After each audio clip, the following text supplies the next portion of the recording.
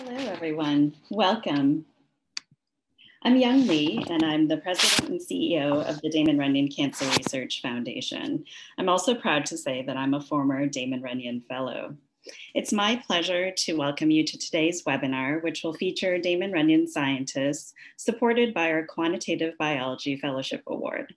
You'll hear more about the importance and impact of this award in just a moment. Damon Runyon's mission is to support young scientists conducting innovative and bold research projects. We enable them to take risks and pursue novel ideas that have the potential to make breakthroughs against all types of cancer. I'm honored to now turn over the program to Dr. Todd Golub for opening remarks. Todd Golub is the director and founding core member of the Broad Institute and of MIT and Harvard, and he's also the Charles A. Dana Investigator in Human Cancer Genetics at the Dana-Farber Cancer Institute, as well as a professor in pediatrics at Harvard Medical School. Todd is also a member of the Damon Runyon Board of Directors, and he's also the chair and inaugural, inaugural committee member of the Damon Runyon Quantitative Biology Fellowship Award Selection Committee. Todd, welcome. Thanks, Yung. Good afternoon, everyone. Um, great to have you uh, on this call.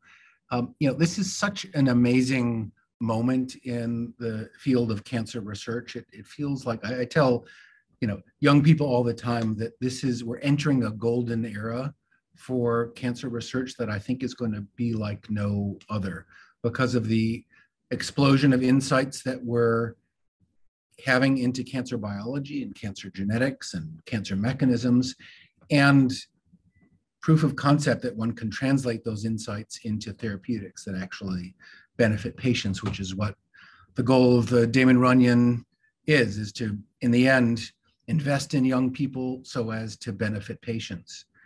Um, but if we think about where are those great breakthroughs going to come in this golden era, I think everyone would agree that a huge component of the big breakthroughs in, in, in, cancer research are going to come at this intersection of cancer biology, cancer medicine, and computational science. And if you believe that the role of computational science is going to be really integral to the future of, of uh, breakthrough cancer discoveries, then we need to worry a lot about do we have uh, enough leaders in this field at this intersection of cancer biology and, and computer science. And if not, we should be investing in a new generation of leaders uh, in the cancer research field. And that's the intent of this really special program in uh, quantitative biology. Uh, founded on the idea that to get this right, you can't just be excellent in computational science, but you also need to understand the biological problems you're trying to solve and have deep connections into the world of cancer biology and cancer medicine. And so this new fellowship program is a mechanism to bring these two worlds together, to identify creative, young, ambitious people who are curious, not only about their own fields, uh, typically coming from a computational perspective, but deeply curious and uh, thirsty and energetic in, in the world of, of cancer biology and cancer medicine.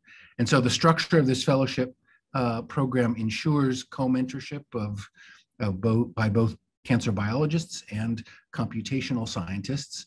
And it was really thrilling to see the level of interest in this program uh, in its inaugural uh, year um, and continuing um, to the to the current year.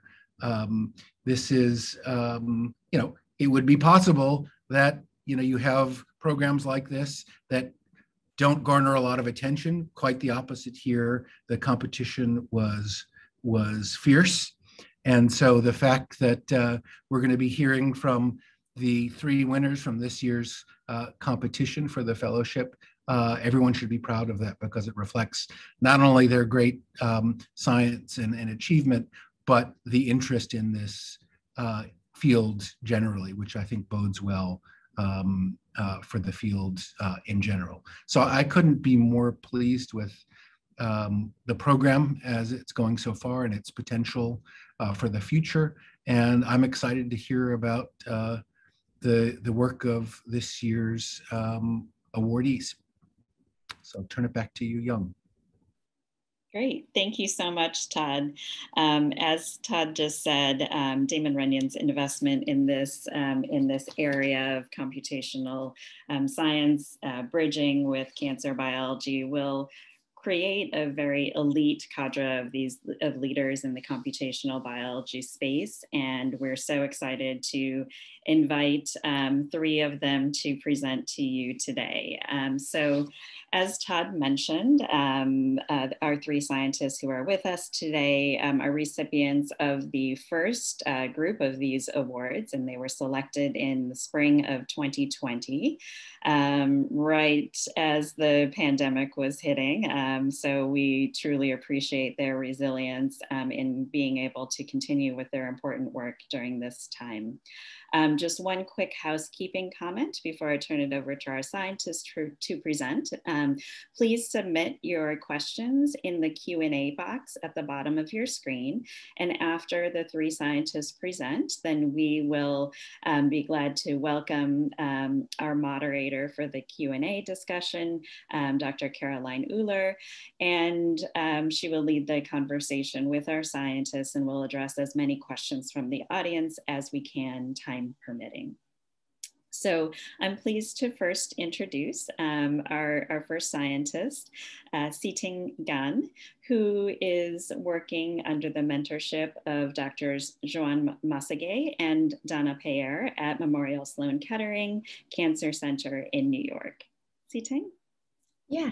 Um, Uh, thank you so much, Yung, for the nice introduction. And um, hello, everyone. I'm really honored today uh, to be here and share with you my work in cancer. And first of all, uh, a little bit about myself. Um, so where do I come from uh, scientifically?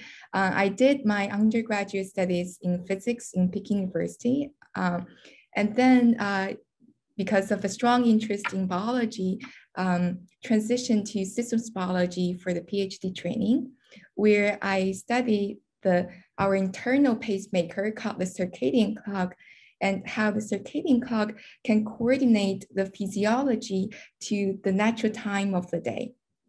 And typically, uh, the circadian clock can be prop properly reset uh, to different new time uh, given a change in the environment like how we would typically readjust our body to the new local time if traveling to a different uh, place in the world. Um, and what I said is interesting is when the clock cannot be properly reset in the simplest organism known to possess a circadian clock called uh, the, cyanobac uh, the cyanobacteria. So as shown here in this movie, this population of bacteria that initially, divided from a single one will lose synchrony post certain change in the environmental temperature uh, and therefore be uh, set to different stochastic circadian time. And from there, I also built mathematical models to interpret the re experimental results and go back and forth to provide a quantitative understanding of this interesting phenomenon. So uh, thinking about uh, the transitioning from PhD postdoc, I've been always really interested in having the freedom of going um, between different approaches, experimental and computational, and bringing them together to achieve uh, an accurate, a quantitative uh, a picture of the biology I'm studying. Well, coming into postdoc, I did transition from studying this elegant circadian clock of a simple bacteria to a far more complex problem, which is cancer metastasis. So metastasis develops uh, as primary tumor cells disseminate through the blood circulation to seed and colonize different organs. And for what I'm focusing on, which is uh, metastasis to the brain, it frequently develops uh, in all cancer patients and often so in breast cancer and lung cancer, uh, which is what I'm focusing on. And despite this high incidence of uh, cancer metastasis to the brain, it is actually uh, an inefficient process if we're looking at individual tumor cells. And the reason is that even after invading to the brain, uh, most tumor cells will have died because their overall surroundings in the brain, as we call it, tumor microenvironment, can be extremely hostile to the invading tumor cells. And this microenvironment is very complex. It's composed of diff many different cell types and also uh, non-cellular components like fibers of collagen that will interact with each other. And understanding how all the various components interplay with each other holds the key to understanding brain metastasis and to finding potential new therapeutic targets for suppressing metastasis. To study uh, this problem in depth, uh, we use uh, mouse models where we can uh, inject tumor cells isolated from primary tumor in patient into the mouse and analyze the metastatic uh, tumor lesions growing at different organs. And for me, uh, in the brain.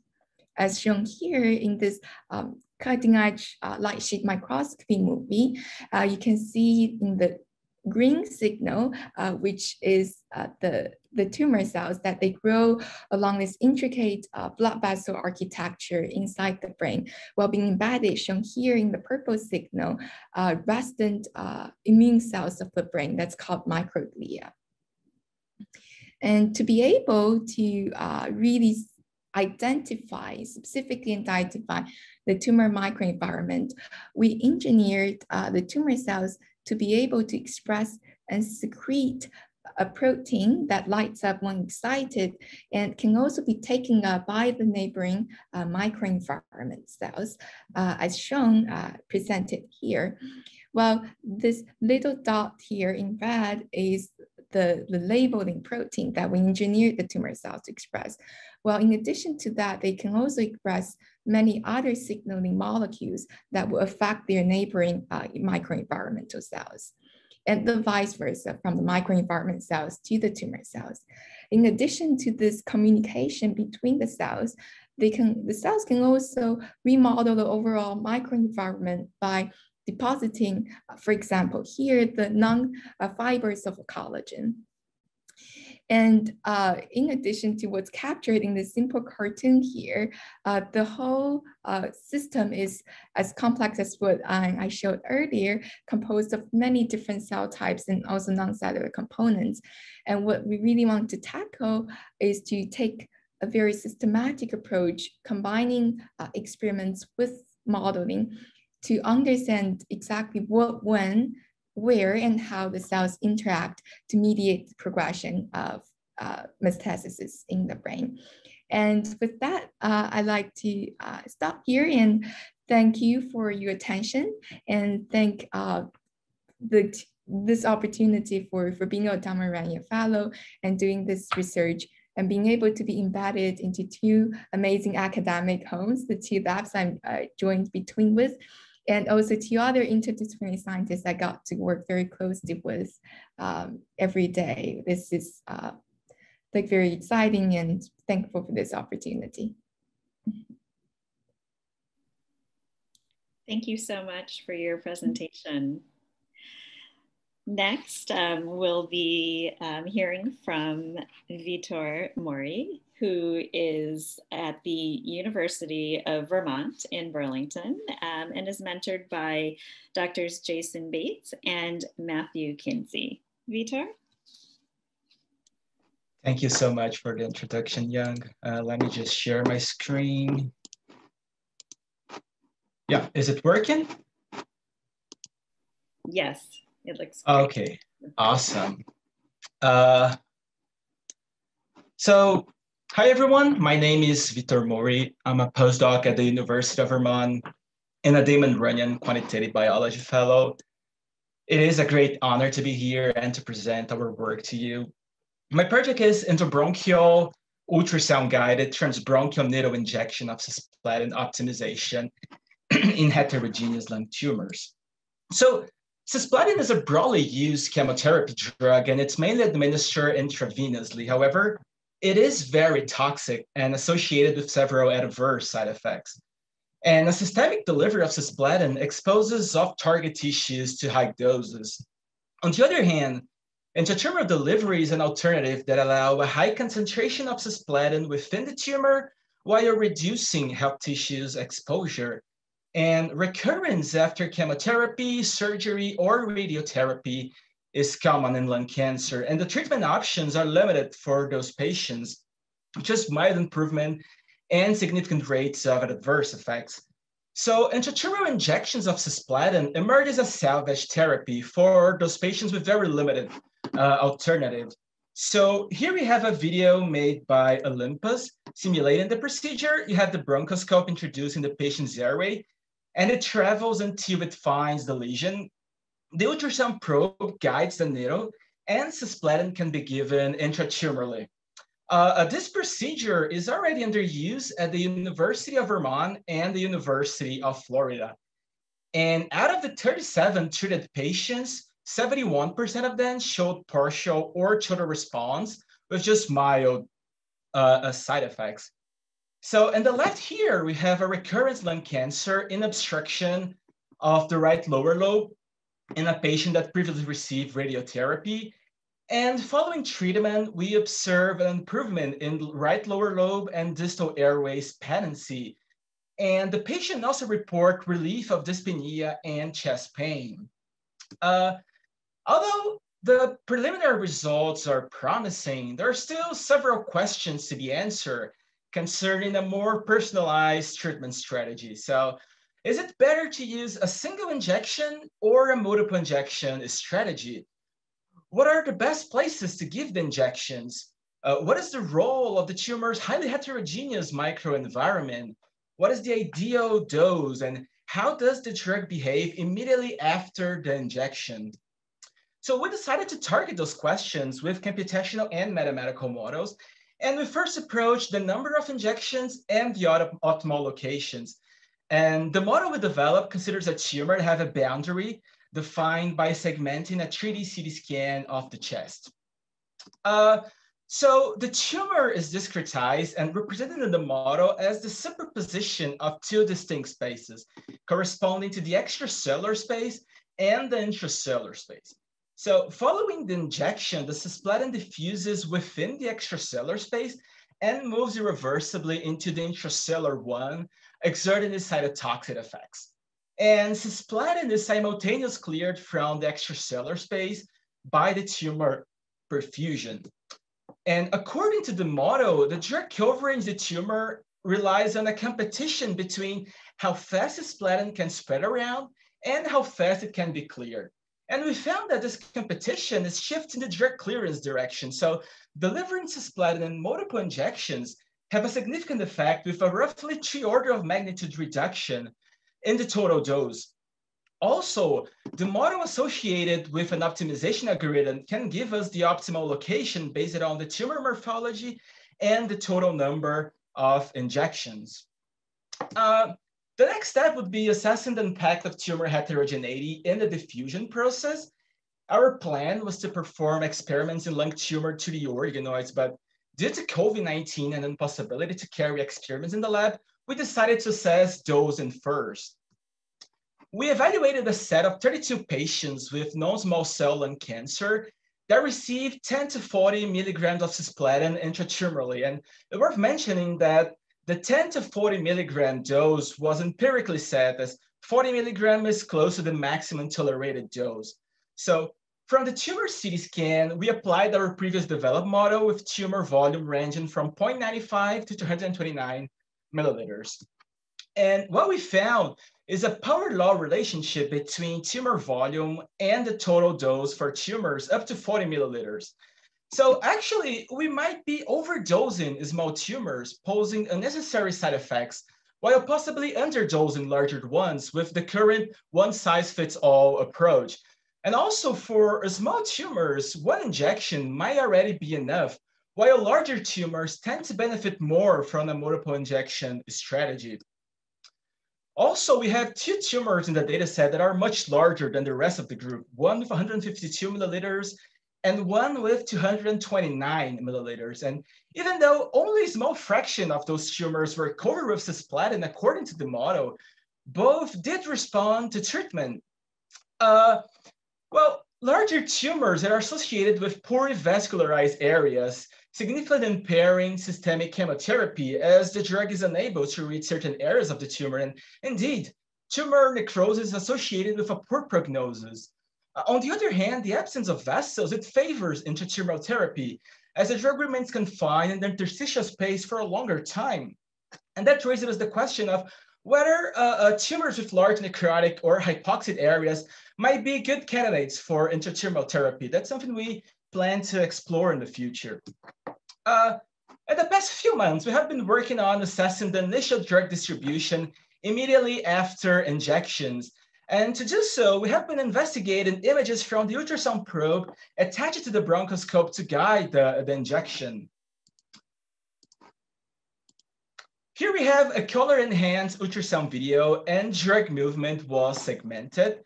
Uh, we can see here the tip of the needle and the drug spreading around from the needle. And the shape of this wet film is linked to the injection regimen. So for example, a quasi-static infusion would imply a spherical symmetry around the needle tip and a Darcy flow profile. On the other hand, a faster injection regimen, as seen in the video, it shifts the centroid away from the needle tip and might suggest a, compliant expansion of the tissue, creating a pocket where drug accumulates. So the core question here is whether we can control that initial drug distribution to optimize tumor coverage by just changing the flow rate during the, the injection. And that's uh, uh, our next steps are to uh, keep the investigation of the role of initial drug distribution and how we can control and predict it. And we also plan to resume experiments to assess the role of tumor heterogeneous microenvironment and how it would affect diffusion, dosing, and the choice of the injection locations. So I'd like to thank the Damon Runyon Cancer uh, Foundation. And Damon Runyon has been very supportive and understanding on the hurdles we all have been facing under this uh, unprecedented times.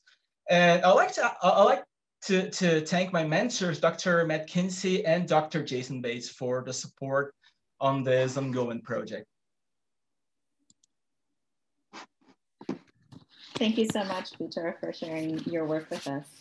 Um, our next speaker is Hang Xu, um, who is at Stanford University School of Medicine and works under the mentorship of Doctors Christina Curtis and Calvin Kuo. Huh? Thank you for a kind introduction. Uh, let me share my screen. Um,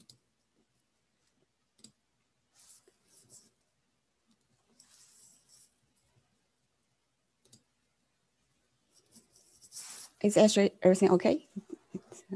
Yes. Okay. Um, it's great pleasure to be here and to show my work. Uh, so my interest is in chromosome stability in tumor evolution. Um, so um, all stories start from evolution.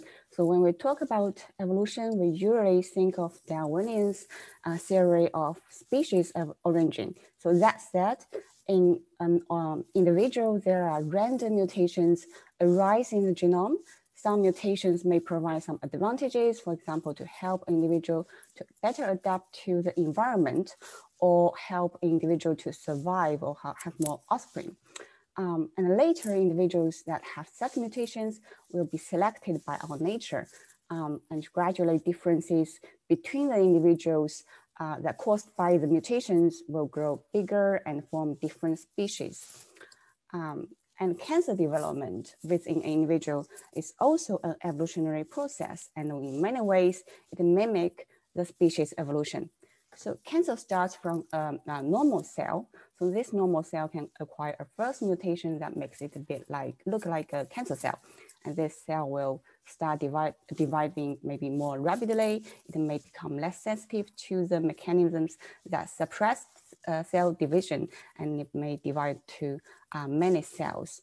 Uh, as mutations constantly arise and being selected, new populations of cancer cells will uh, arise and some cancer cells will uh, gain the ability to travel. So that's uh, where metastases come from. So classic model of cancer development is through accumulating the mutations. So these mutations usually uh, affect only a single gene or single trait. So like in this example, uh, the butterfly's color and the pattern is changing gradually over time. So this could happen um, or caused by a single letter change in the uh, genomic sequence. So but there are also other types, like there are examples uh, in a more punctuated pattern. So we call it um, macro evolution or large leaps. So uh, such large leaps normally involve um, chromosome instability. For example, the numerical uh, chromosome instability that changes the number of the entire chromosome, again, or, or loss of the entire chromosome, um, and also there are structural chrom uh, uh, chromosome instability where a large piece of the chromosome could gain or lost or even translocated into different places. So you can imagine that during this process, um, hundreds or thousands of genes can be affected at once, which is crazy. Um, so here I'm showing you an example of a highly rearranged genome uh, or from uh, osteosarcoma patient we have. Um, so here, each color represents a different chromosome. This should be in a normal genome. And we know in a normal human genome, there are 23 different pairs of chromosomes. But in here, we can see there are much more copies of the chromosomes. Um, and when you see uh, there are multiple colors here, that means the segments from uh, different chromosomes were translocated and then combined together. So you can see in this genome, there are many translocations going on. And astonishingly, we found a genomic sequence that have jumped into 12 different chromosomes. So they are labeled here. Um, so these, uh, each of these uh, uh, arrow is, uh, is a, a, jumping segment. So in this segment, it, uh, it contains a gene called MYC, uh, which is an oncogene that promote tumor progression. So it's very obvious that this MYC gene is amplified through chromosome instability um, um, in this way. Um, so we can see that chromosome instability could drive tumor development by amplifying oncogenes like MYC or deleting uh, tumor suppressor genes and create aggressive tumors. Um, however, instability is a double-edged sword. So you could imagine that a cell that's suffering uh, tens to hundreds of genomic rearrangements will be expected to die because um, these rearrangements could uh, result in uh, a complete loss or disrupt um, of uh, some essential genes. So uh, the cells that survive in such insult and progress to become cancerous must have a significant fitness advantage that makes them to um, tolerate the um, crazy chromosome instability and to compete with the normal cells in the same environment. So we want to know what fitness advantages of the cells to, could have gained and how the cells could tolerate such large amount of genome uh, aberrations. So we are analyzing a large scale of cancer patient genomic data, and we want to identify um, the patient with the chromosome stable tumors and those with the chromosome unstable tumors. And we want to explore is there any potential factors like genomic level or um, uh, RNA expression level? Is there any factors associated with the chromosome uh, rearrangement level here. Um, and also, I want to mention that in with the uh, chromosome unstable tumors, we're also comparing the adults and the pediatric tumor to study the difference um, in how tumor develop, progress, and respond to therapy. Um, and all these tumors um, we analyze, so you can imagine when we sequence them, it's a snapshot of that tumor status at the time. So um, because chromosome instability is a dynamic uh, cellular event, um, we can't, we, it's really hard to directly observe how it um, in the growing tumor, human tumors, because what we sequence is uh, like final, final tumor. So to study the, how, uh, the progress of um, the chromosome instability, we, we could use mathematical modeling and computational simulations to study this process. So once we obtain some essential parameters from real tumors, we could model the process and grow tumor virtually. And by studying um, these um, models, we could gain more insights into um, these important questions and but hidden evolutionary process. Um, and I will stop here and I want to take the opportunity to thank Damon Runyon Cancer Research Foundation uh, to support my research and also my uh, labs and my colleagues uh, for their kindness and support. And thank you. Great, thank you so much. Um, it's so great to hear from um, each of our three scientists about the work that they're doing. Um, all are addressing such exciting and important questions um, in so many different areas of cancer research. So we'll now move to our um, question answer session and this session will be moderated by Dr. Caroline Uhler. Um, Caroline is the newly named co-director of the Eric and Wendy Schmidt Center at the Broad Institute of MIT and Harvard. And she's also the Henry and Grace Doherty Associate Professor um, at MIT in the Departments of en Electrical Engineering, Computer Science, and the Institute for Data Science Systems and Society. Um, Caroline is um, also an inaugural member of our Quantitative Biology Fellowship Award Selection Committee. And as I mentioned um, earlier, is uh, one of the people that um, worked with Damon Runyon to help select this very um, wonderful group of, of awardees. And so Caroline, I'm going to turn it over to you now um, to, to moderate this discussion with our scientists. Thank you very much, Yung, and I'm really excited to be here. And thank you to all the speakers for really wonderful talks. Um, so let's start off with a couple of questions, maybe to Siting first, since uh, your talk was first. Yeah, so there were questions about, um, so maybe I'll start first with a question about the data sets. Um, so what are the kinds of data sets that you're, that you're going to be using? You showed um, imaging data sets. Um, so is this the data that you're going to use? And then how do you, there it's usually snapshots in time. So how can you from snapshots in time then infer something about communication between cells? Yeah, so uh, I think the major data sets I'm trying to start working with uh, are time points, uh, time series data of uh, uh, single cell RNA sequencing uh, that um, would initially basically be all the cells involved in the tumor microenvironment that get labeled by this microenvironment labeling system we engineered into the tumor cells. Um, this will be the major data sets. Um, well, in terms of type of data, uh, what I'm also been working on, very excited about is the imaging data.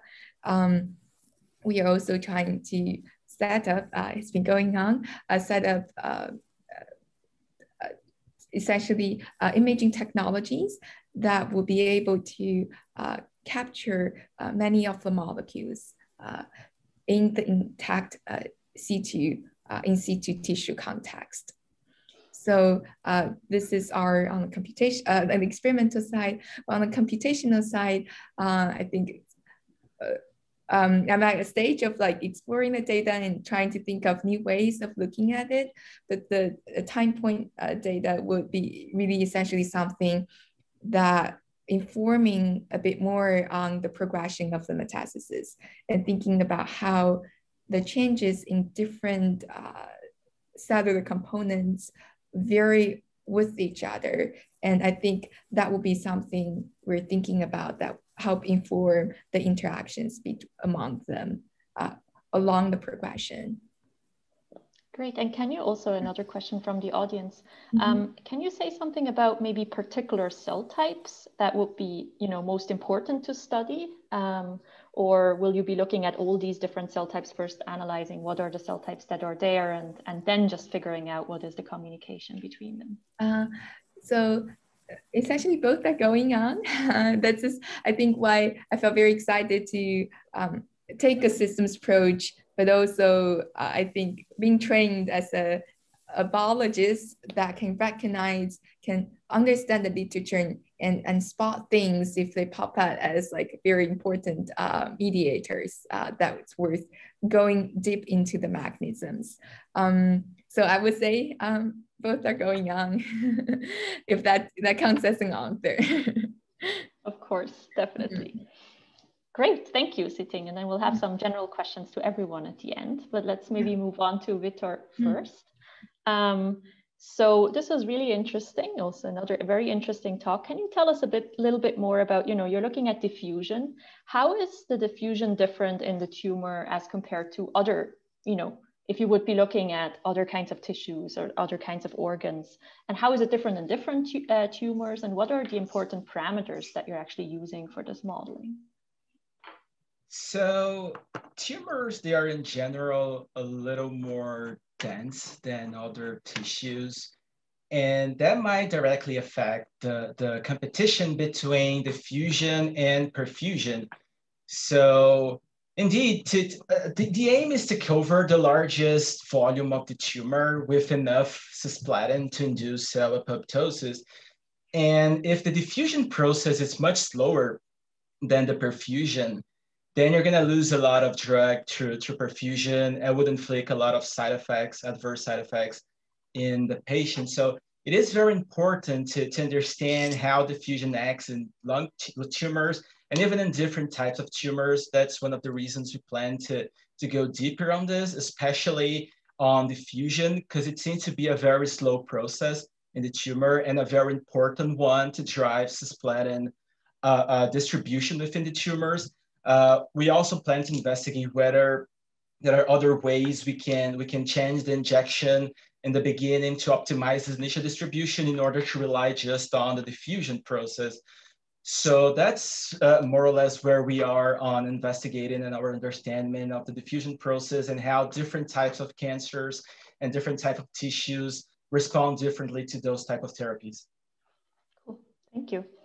And maybe another question, I mean, you mentioned how tumor morphology is so important um, for, you know, figuring out optimally where to inject. Um, how is, and, and also tumor volume you showed afterwards is really important. So how would you get very accurate measurements of this, you know, since, since you need this in order to figure out where to inject and how much and what, how to inject? Yeah, we do that uh, with uh, high resolution 3D CT scans.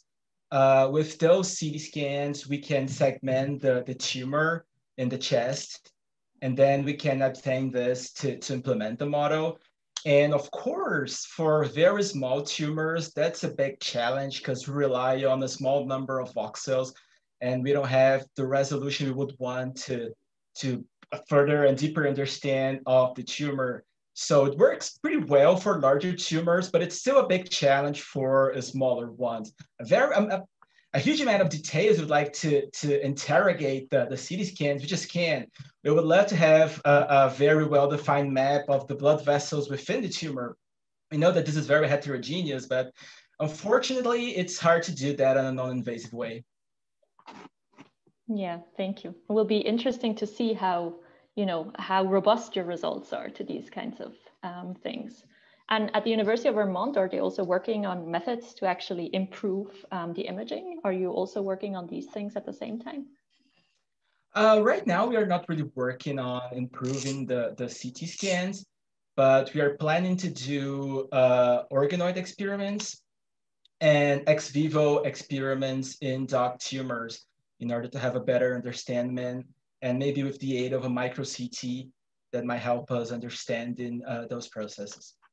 Great. Thank you very much. So let's move on to the third talk. Um, Hang, so I'd love to also ask you some questions.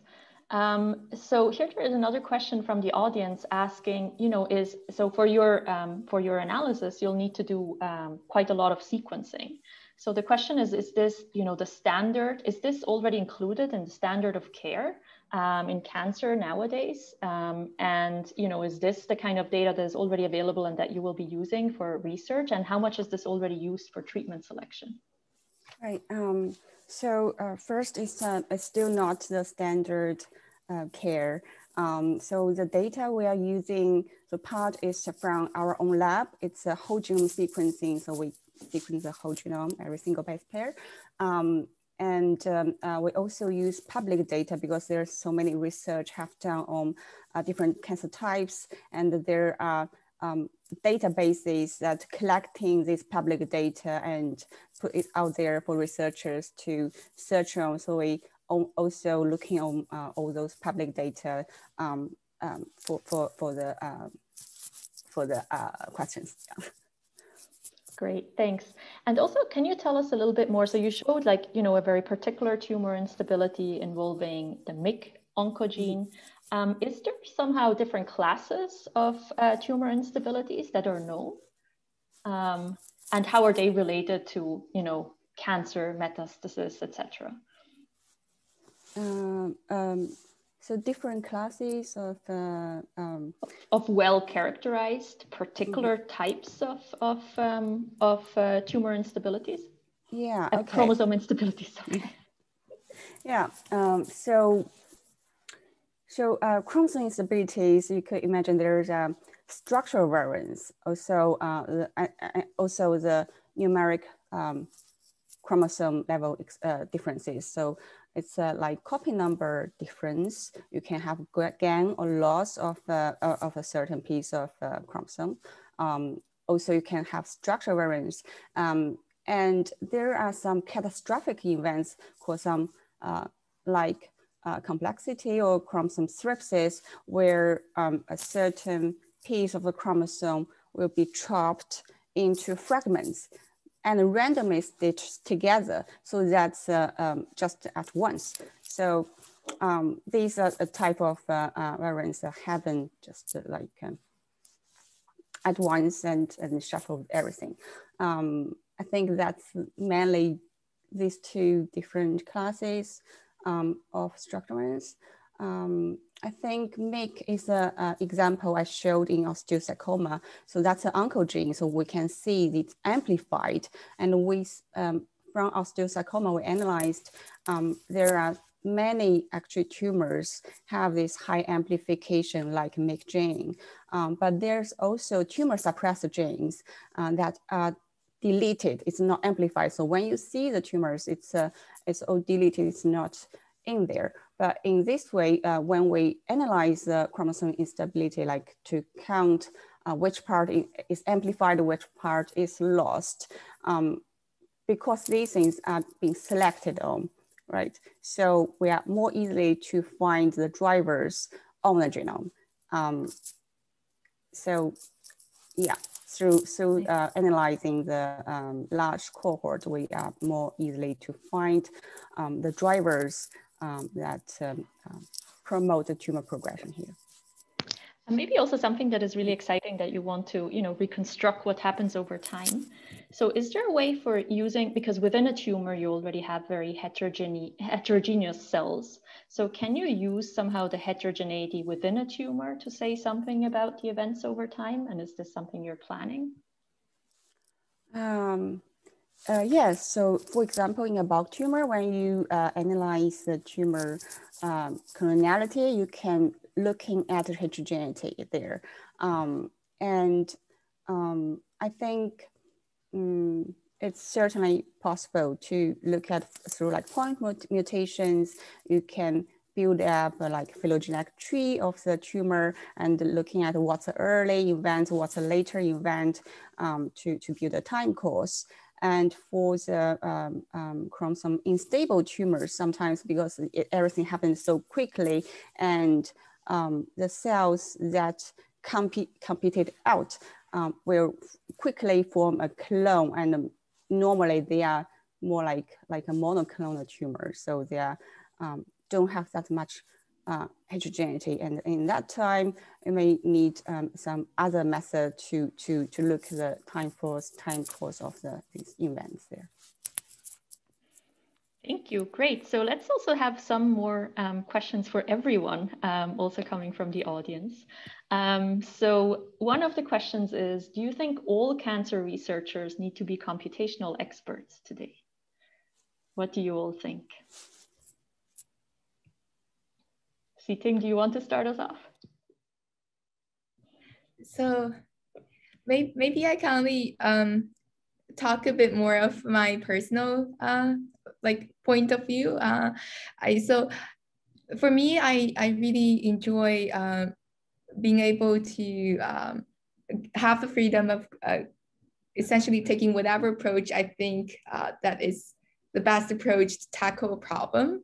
Um, uh, yeah, I think it's like uh, uh, so this is I, I think when did my PhD uh, in a much simpler system, which is the bacteria and the circadian clock, uh, very elegant. Uh, it's a three protein machinery. Um, this is uh, quite more uh, feasible, uh, relatively feasible back then to be able to learn a lot of different techniques and to tackle problem. I think in cancer, it's definitely a lot more complex problem and it's sometimes um, quite challenging to be uh, to know everything. But to me i think i've been still very like most excited about uh, really acquiring all the skills that i need but also being able to learn a lot from all the uh, experts in, in many different fields so it's a very interdisciplinary approach that you're mm. um, you're going towards what about the others what do you think um, does one does it require quantitative uh, computational experts today, or is there room still for people who actually don't take at all a computational approach?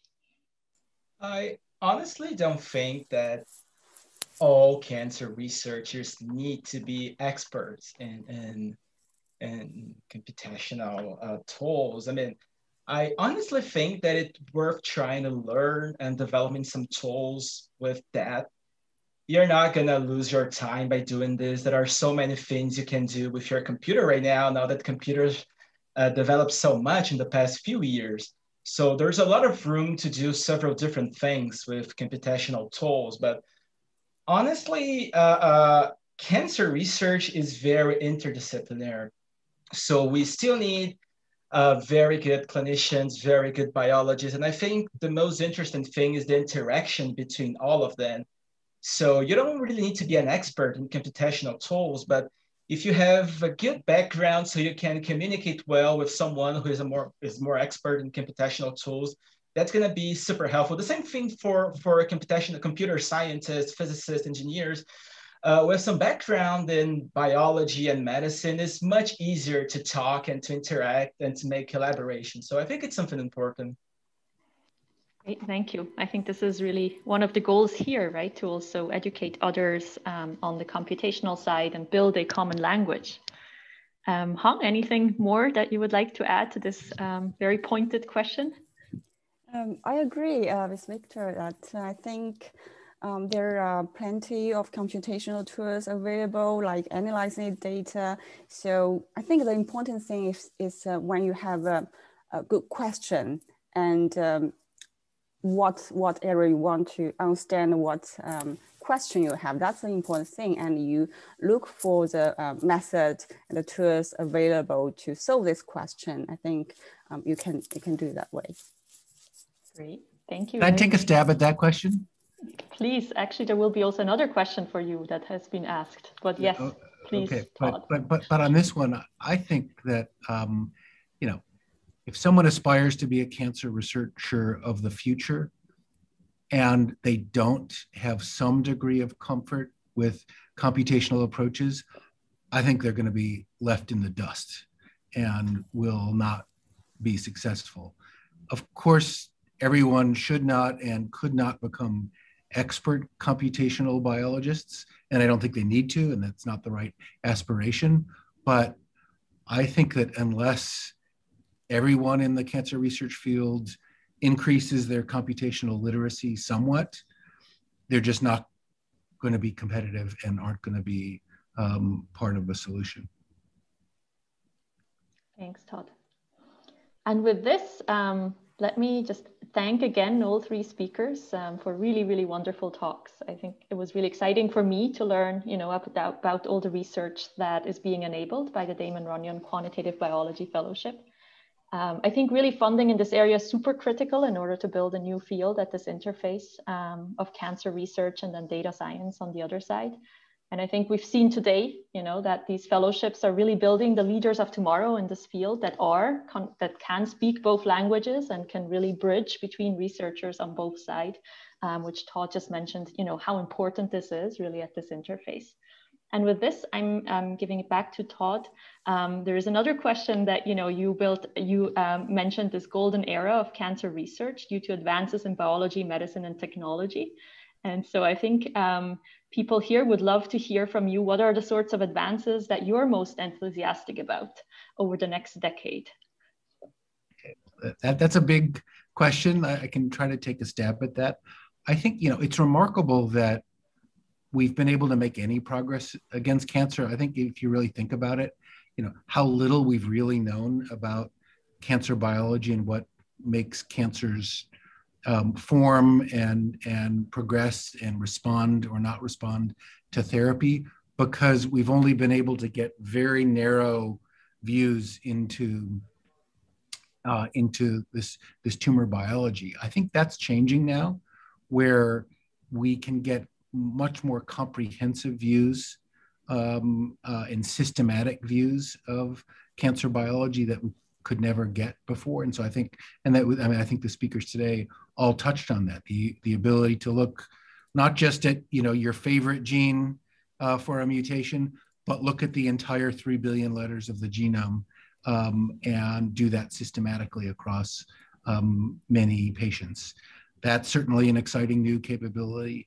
The ability to similarly take systematic views of cancer vulnerabilities to not just know, you know, what are the mutated genes in a given tumor, but what are all the genes in the genome um, on which the tumor is dependent for survival that points to you know a, a systematic approach to identifying therapeutic targets um, for the disease we didn't used to be able to do that but now with crispr um, and other kind of genome editing um, uh, approaches that's now possible to do. We used to have to totally ignore the important interactions between tumor cells and the um, microenvironment, the other cell types in the tumor. We used to, you know, actually throw away all those other cells, the immune cells and the fibroblasts and and, and those kind of cells because they were kind of getting in the way of studying the tumor cells themselves. And now um, we know better and we have tools to be able to look at all of the cells in a tumor and to study those interactions and they're really really complex. And so that's you know as we heard today also we're only going to make progress on understanding those tumor microenvironment interactions as they relate to um, why cancers develop and why some tumors respond to therapy and some don't. If we can take a really quantitative systematic computational approach to understanding those relationships between cell types. I don't think cancer biologists just staring at the data are going to get us there because it's just too complicated.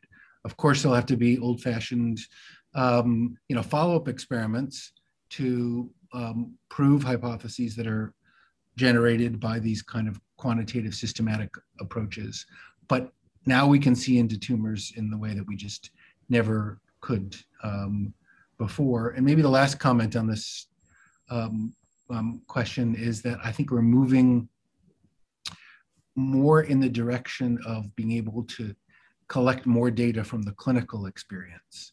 I mean, you know, Vitor's talk just reminded me how crazy it is that we kind of give the same dose of anti-cancer drugs to everybody, even though we recognize that you know the metabolism of those drugs is really different from patient to patient, uh, and we could be learning more from that clinical experience. So as we get to aggregating electronic health records and combining that at large scale with genomic information and other, you know, imaging, um, you know, CT scans and MR and, and, and so on, that's going to be a, a, really rich, um, fertile field for, for discovery. So I think there's a lot that's possible now that we couldn't even imagine before.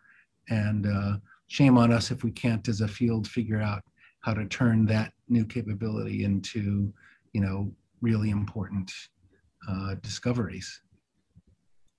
So and, and maybe just um, also just to say again uh, really exciting talks great to hear about um, uh, all your work and really a, a great demonstration of uh, what Damon Runyon stands for to really be unafraid to invest in bold, courageous, um, creative young people um, trying to break new ground. And it's great to see that uh, happening with your work. So thanks so much for sharing it. Maybe Yung, are we back to you? Yes, so we're just about out of time, and I just want to close with a huge thank you to um, all of you, um, to Todd and Caroline, and all of the members of our selection committee for um, their leadership and guidance in creating this very important award program that enables us to support um, amazing young scientists like um, the three that you heard from today, who are really going to make incredible progress and advances um, against cancer. Um, I'd like to also, you know, say that our board of directors is phenomenal and they have encouraged us to um, designate support to these areas of need. And this is really the way that we're going to continue to fulfill our mission of providing these brave and bold scientists with the resources that they need to be able to make these future breakthroughs against cancer. So thank you to all of you in our audience for joining us today. And from all of us at Damon Runyon. Take care, be safe, and be well. Thank you. Bye bye.